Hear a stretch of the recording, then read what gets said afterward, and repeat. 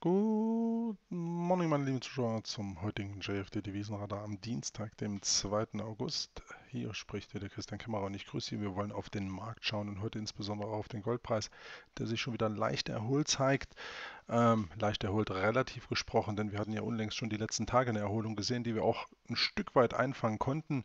Ähm, doch beginnen wir hier am besten mal mit dem großen Bild. Wir sehen hier den Wochenchart, die Ausbruchsbewegung hier von Beginn des laufenden Jahres, insbesondere im Februar hier mit Bruch dieser Abwärtstrendlinie und auch mit dann Attackierung dieser Reaktionshochs hier vom Januar des Jahres 2015 führte jetzt letztlich dazu, dass der Goldpreis weiter seinen Impuls nach oben fortsetzt und hier natürlich exorbitant steile Aufschläge zu verzeichnen hat. Ähnlich sieht es bei Silber aus, doch wir wollen heute eigentlich nur den Goldpreis erstmal betrachten, denn das nächste Ziellevel, das befindet sich hier im Bereich um 1385 rund. Hier diese Hochs vom März 2014, zumindest diese Reaktionshochs, sind ein Punkt, die oder Punkte, die hier zuletzt im Juli verfehlt wurden und es scheint halt so, als könnte es jetzt im August klappen. Wir haben natürlich diesen Freitag die Non-Farm Payrolls aus den USA, da muss man aufpassen, wie die Reaktionen ausfallen, aber hier auch die generelle Tendenz. Es sieht so aus, als könnte der Goldpreis hier durchaus noch weiter anziehen. Rücksetzer scheinen hier gerade im großen Bild auf Wochenbasis immer wieder Gelegenheiten zu sein, ähm, den Markt zu kaufen, hier praktisch reinzuspringen und das insbesondere, wenn wir natürlich dann hier sehen, dass der Markt ähm, im Bereich um 1300, 1310 Dollar einen soliden Support hat. Und ja, jetzt wird es spannend, ob die Bewegung weiter sich nach oben fortsetzen kann. Wir hatten hier unlängst, wie gesagt, einen Rücklauf der sich gerade mal über zwei Wochen ausdehnte. Letzte Woche wieder sehr, sehr stark und jetzt zieht es den Preis wieder nach oben. Und das wollen wir uns jetzt mal im Tageschart ein Stück weit genauer anschauen. Wir haben hier die Situation, dass wir rein von der Marktstruktur her sehr schöne Sequenzen haben, keine tieferen Tiefs zuletzt und hier dieses Level um 1000, ja zwischen 1300 1310. Es reichte, wie gesagt, den Preis gerade mal in Richtung 1310 zu schauen, noch nicht mal dieses Niveau zu touchieren. Wir hatten das damals hier auch mit den Fibonacci Retracements mal dargelegt, dass im Prinzip hier das 38er Level eine schöne Zone wäre, gerade hier wegen dem Spike vom 16.06 mit dem Ausbruch der Brexit-Kerze, dann hier so ein kleiner Pullback am 28.06. und dann hier praktisch ein idealtypischer Rücklauf, der jetzt nicht ganz so erfolgte wie gedacht. Wie gesagt, der Preis stabilisierte sich hier schon knapp oberhalb von 1310 Dollar und ja, seither geht es nach oben. Hier dieser Pfeil ist genau das, was wir praktisch auch gesehen haben oder sehen wollten. Die Preisentwicklung sollte sich hier entsprechend positiv weiter fortsetzen, also Preise unter 1300 wären denn hier definitiv jetzt nicht so ideal gewesen. Also der Bias hier war das sehr, sehr gut. Und wenn der Bias schon gut ist, dann schauen wir uns auch die äh, oder schauen wir auch auf die Saisonalität und die sieht diesmal auch hier sehr, sehr gut aus. Schauen wir uns das mal an. Hier im August ähm, relative Stabilisierung, will ich mal sagen, mit Aufwärtstendenzen, aber insbesondere dann Ende August mit der Tendenz hier in den September hinein. Das nenne ich mal wirklich eine Fahnenstange.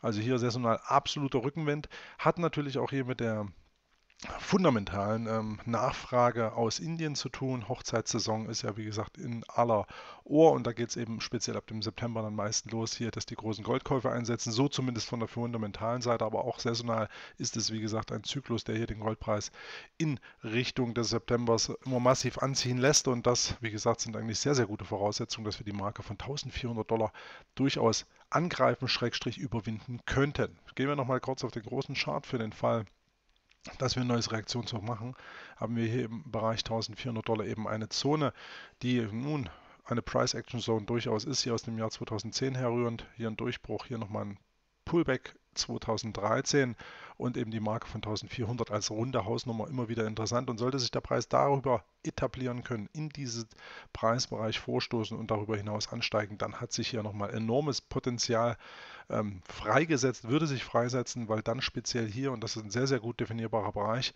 damals hier in Sachen der US-Banken, ein Ausverkauf des Goldpreises hier gab es ja große Spekulationen hier im Frühjahr 2013, letztlich als diese Marke hier um 1560, 1550 Dollar aufgegeben wurde, ähm, kam es, wie gesagt, zu einem massiven Korrekturimpuls, der sich dann eben auch weiter fortsetzte. Aber hier diese Unterstützung damals ist jetzt hier ein ganz klares Widerstandsniveau und mittelfristig durchaus ein Ziellevel, 1565 Dollar. Der Goldpreis in jedem Falle, wenn wir über 1400 Dollar uns etablieren, die Chancen oder besitzt der Goldpreis die Chancen, dieses Level anzusteuern. Das sieht zumindest sehr, sehr gut aus technisch und insofern die Rahmenbedingungen weiter gut. Ab wann wird es kritisch werden? Nun, wenn der Goldpreis hier zu deutlich unter 1300 Dollar zurücksetzt, insbesondere Hier die Marke von 1250, das sehen wir jetzt hier auch nochmal im Tagesschart noch ein Stück weit genauer. Hier haben wir die Brexit-Kerze und die lag hier knapp über 1260, beziehungsweise das Opening hier bei 1249, das Low 1250 eben rund. Wenn wir hier diese Kerze relativieren sollten, der Goldpreis praktisch dieses Level unterschreiten sollte, dann sieht es wirklich nicht so prall aus. Dann muss man davon ausgehen, dass hier auf jeden Fall noch 50 bis weitere 100 Dollar Abschlag folgen könnten. Deswegen der graue Tendenzpfeil bleibt hier intakt unterhalb von 1200. 50.260 Dollar wird die Situation brisant für den Goldpreis, ist aber aktuell nicht ableitbar, gerade wegen der Saisonalität, würde ich mal eher vermuten, haben wir hier Rückenwind. Dann muss wirklich schon was Überraschendes passieren, dass der Goldpreis hier nach unten wegbricht, aber selbst dann achten Sie auf 1300, 1310. Diese Zone ähm, dürfte der Goldpreis eigentlich nutzen, um eine neue Stabilisierung zu erfahren. Und wenn das passiert, dann ist die Welt sozusagen in Ordnung. Also kurzfristig heute auf den Tag bezogen haben wir hier gerade mal 11,50 Dollar zurückgelegt, sind aber auf Tageshoch gerade unterwegs. Im Schnitt der Goldpreis hier just unterwegs mit 15 bis 16 Dollar, also ein Stück weit was kann noch folgen, aber dann dürfte sich es relativieren. Die starken großen Ausschläge haben sich wieder ein Stück weit beruhigt, das sehen wir hier in den letzten Tageskerzen. Ähm, gar nicht mehr so heftige Ausschläge wie hier zuletzt im Juni. Das waren dann doch schon sehr starke Bewegungen einstweilen. Mal hier 25, mal da 30 Dollar oder die Brexit-Kerze hier in ihrem enormen Ausmaß mit beinahe 100 Dollar.